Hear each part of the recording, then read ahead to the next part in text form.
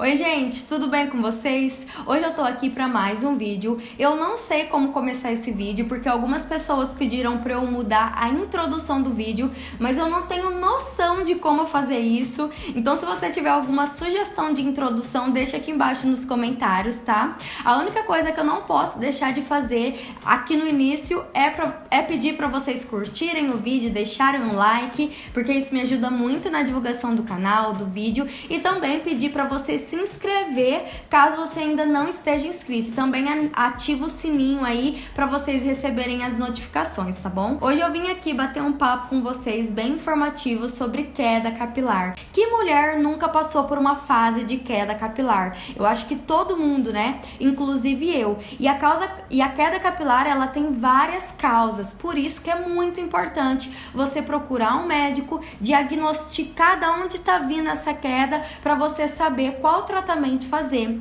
Pode ser por causa de estresse, pode ser alguma alteração hormonal, pode ser anemia, pode ser pelo uso excessivo de secador, de chapinha. Tem várias causas a queda capilar e eu vim aqui dar cinco dicas para vocês que vai te ajudar, que vão te ajudar a diminuir essa queda. Lembrando que você deve procurar um médico porque queda capilar não é brincadeira, tá? Pode ser muito sério e às vezes até irreversível caso você não procurar ajuda logo.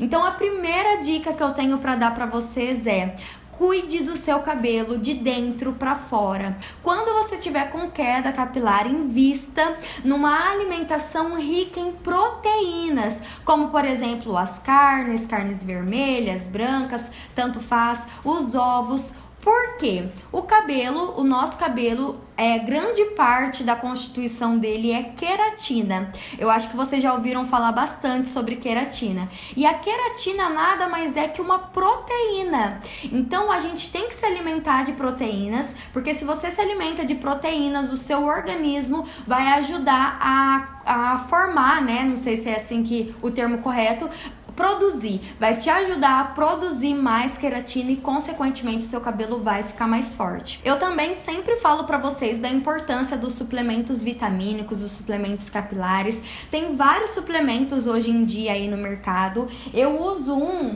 que eu gosto bastante. Calma aí que eu vou pegar. Olha, derrubando tudo aqui. Ai, meu Deus, quase derrubei meu espelho. eu uso um que é esse aqui, ó. Ultimamente eu tenho usado ele da Mr. Hair, que é esse Complex Vitamine, mas eu já usei usei vários outros suplementos, eu já usei o Nanovin, o Pantogar, o Peel Food. Você pode aí investir no da sua preferência, o que você achar mais em conta, o que você achar com mais facilidade. A segunda dica é uma dica muito importante, dá para contar nos dedos as vezes que eu fiz isso na minha vida, que é nunca durma ou prenda o seu cabelo molhado. Quando você dorme com o cabelo molhado ou quando você prende o cabelo molhado, além de te acarretar vários danos, como por exemplo o frio, você também vai estar tá favorecendo a queda capilar. Por quê? Além de estar tá úmido ali, né, o, o seu cabelo, devido à temperatura do seu corpo, você vai, você aquece o seu couro cabeludo e tudo que é úmido e quente, sem dúvidas, vai aparecer ali fungos. Então, os fungos, eles também ca causam a queda capilar. Então, antes de dormir, dá uma secada no seu cabelo, passa um protetor térmico, não durma com ele molhado, mesmo se você tiver com muito sono, então deixa para lavar o seu cabelo de manhã, ou caso você trabalhe em algum lugar que você precisa prender o seu cabelo, por favor, eu peço em nome do seu cabelo, não prenda ele molhado, tá, gente? Vai marcar o cabelo, o cabelo vai ficar feio. Ouve o que eu tô falando para vocês. Essa é uma dica muito importante. A terceira dica é: enxague muito bem o seu cabelo depois que você aplicar shampoo, condicionador, máscara capilar. Deixa no seu cabelo somente aqueles produtos que forem sem enxágue, como por exemplo os leave-ins, protetores térmicos. É, se você deixar no seu cabelo os produtos, vai ocasionar a seborreia, que é aquela oleosidade excessiva no couro cabeludo, e sem dúvidas vai ocasionar a queda, o seu cabelo vai cair. Eu vou contar para vocês esses dias uma coisa aí que aconteceu com uma prima minha. Ela pediu se eu não fazia uma escova no cabelo dela, eu falei faço. No que ela chegou aqui em casa, que eu comecei a escovar o cabelo cabelo dela, o cabelo ele tava cheio de creme, cheio de, cheio de máscara capilar. E no, na hora eu não sabia que era máscara capilar, né? Eu virei pra ela e falei: O que, que é isso aqui no seu cabelo? É creme de pentear? Ela falou: Não, eu deixei um pouquinho da máscara capilar, eu não enxaguei ele muito bem.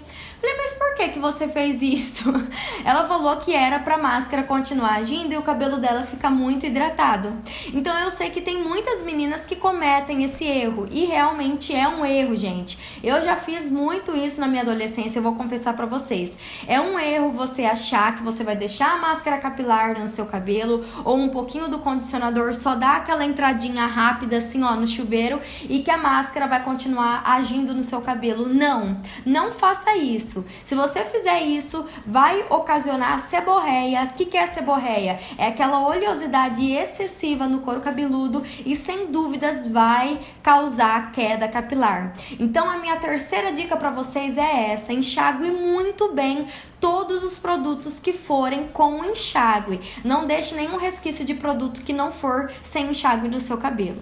A quarta dica é uma dica que eu comecei a fazer esse ano no meu cabelo e eu percebi muita diferença, inclusive é, no crescimento do meu cabelo. Então essa é uma dica bem legal para quem tá com queda e para quem quer fazer o cabelo crescer.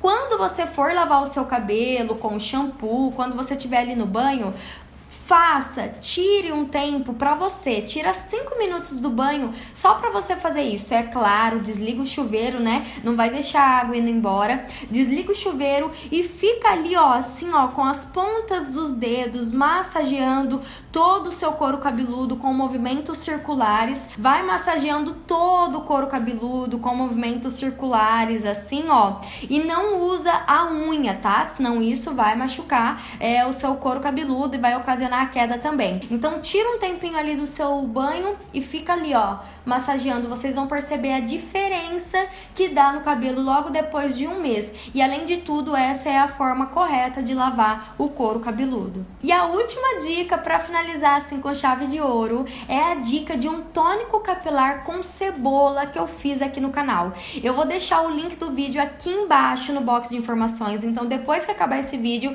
você vai lá assistir o vídeo de tônico de cebola cebola. Foi comprovado pelos médicos, houve um estudo e foi comprovado que realmente é muito eficaz o uso da cebola no couro cabeludo. A cebola ela vai ter propriedades que vai regenerar os folículos pilosos. Olha que legal, gente. Então é um tônico incrível para quem tá com queda capilar, para quem quer fazer o cabelo crescer. O cheiro não é muito bom não, mas depois é só você aplicar uma máscara. Se você ficou com dúvida então como faz, eu vou deixar o link aqui embaixo Eu espero que vocês tenham gostado do vídeo, eu espero que vocês tenham gostado da dica. Se vocês gostaram, não se esqueça de clicar em gostei, de deixar o seu like, de me seguir lá nas minhas redes sociais, que os links estão aqui embaixo no box de informações, tá bom?